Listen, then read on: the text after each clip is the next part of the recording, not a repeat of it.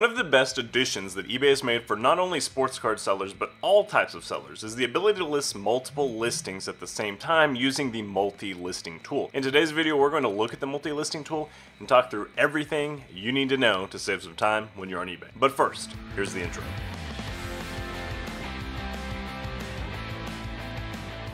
So last year I made a video about how to list multiple auctions at the same time using this tool and since then it's changed quite a bit but that's one of our most popular videos ever so I figured it would be fair to do a 2024-2025 update with all the latest additions that they've made. And this video, obviously, like, we're a sports card channel, so if you're here, we're to be talking about sports cards. But if you're an eBay seller in any category, this will still help you as well, save some time. So this video in particular, hope it helps you no matter what you're selling on eBay. But stick around for other eBay tips. Hit that subscribe button. So let's check out the multi-listing tool, but before we dive in, I want to say this video is brought to you by your friends at Cardlines Breaks. Yeah, it's another home-cooked ad, but every Tuesday and Thursday, we are ripping boxes, and it's some of our favorite products. To participate, all you have to do is go to cardlines.com slash breaks, and then you can click right here, and it takes you to the Cardlines eBay, and then you can just check it out on the Pick Your Team auctions by whatever team that you're trying to pull, and then join us on our YouTube for the live stream. It's on this very YouTube channel, so all you have to do is just hit the subscribe button and then ring the channel notification bell and you'll be notified as soon as we go live at 8 p.m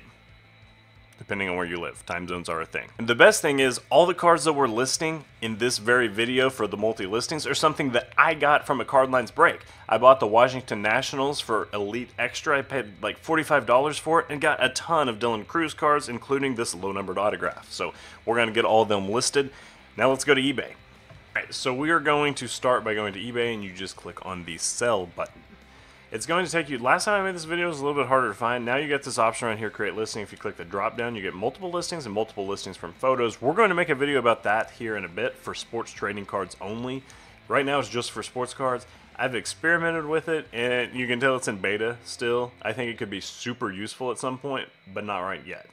So I just clicked on multiple listings, and now the first thing we're going to do is fill out all the required information we possibly can. So all these cards are Dylan Crews cards, and one of the first things I did is I scanned all of them because I just wanted to be kind of prepped for moving in. So we have a jersey card, we have a couple different rookies. These are both numbered. I'm doing a six card lot of unnumbered rookie cards in the back of these cards. Oh, I also got four different Nationals prospects autographs. So uh, I'm not sure who they all are, but we're gonna just list them as a lot of four. Maybe Nationals fan will buy it at some point. Not sure. Anyways, I got all the pictures done. That's the big takeaway here. So for the first one, I'm just going to start with the autograph because I think that makes the most sense. Dylan Crews, RC Auto, numbered to 60. I think those are probably the most important things you want to convey to the buyer just right off the rip. And then I'm going to say rookie. Most people search RC and most people search auto, but we're going to include rookie autograph because we have the space and somebody might search Dylan Crews rookie.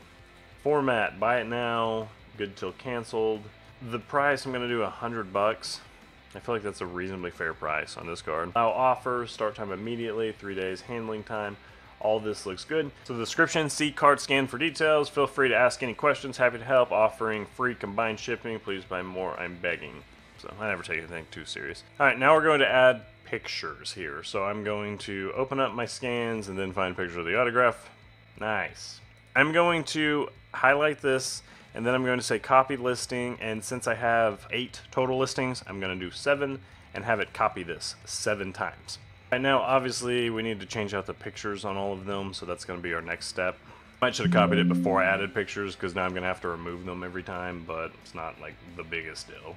Super easy, you just clear them out, you select the pictures you want to add, you add it, and I'm not going to make you watch me do all this. Alright, that was actually very quick and easy. It looks like a couple of these are backwards, so I'm going to clean that up, make sure that the actual front of the card is the focus image every time. And now we have the option to do the category, which makes me happy. Wow, did it? Uh, no. Okay, hold on. Alright, so I had to go through and adjust the item category. So all the ones that are singles, now I have this red mark on the status because I have to update the condition. As I mentioned a bit earlier, you have to specify if they're graded or not. And now that it knows that they're sports card singles, it's going to make me say, not an original package or graded. I think you can do what's called a bulk edit, and I'm going to do condition. So on all the ones that are singles, I'm going to change to condition type, ungraded, and then I'm going to say near mint or better, because they just came out of a box, so they should be fine. Now, the last thing basically there's two parts. We got to adjust the title and we got to adjust the price. So for the next one, I'm going to say Panini Elite Extra Edition. The next one is numbered to 275, so I'm going to say Dylan Crews RC number 275, Panini Elite Extra Edition, uh, Rookie Prospect. I don't really care to include what kind of subset it is. If you're into that, you certainly can, but I think this is fine. I think this will get the job done and get some eyeballs on the card. And now, as I go through these once again, we will time lapse to save you guys some time. And it was pretty easy. We got it all updated. We have the lots specified as lots. Down here, I didn't really know. I just said Washington Nationals prospect rookie auto lot and listed their names slash last names. But everything looks all right there to me. And now the prices, I've done a little bit of comping in advance. And now we're to hit submit all, and we will see. Bang, it's all live. We did good. And then if you go to my listings, here they are. It shows what they all are. All these cards are live, all the new ones are, so pretty excited about that. Super duper easy. And that concludes the video. That's how to use the eBay multi-listing tool. It's a little bit easier to find. It's a little bit more user-friendly than it was last time, especially now that you can do all the bulk edit stuff and copy the listing. So if you know what you're doing, it's going to make your time a lot more efficient anytime you're listing stuff on eBay. Hope this video helped. If it did, comment below. Thanks for the support. See you next time.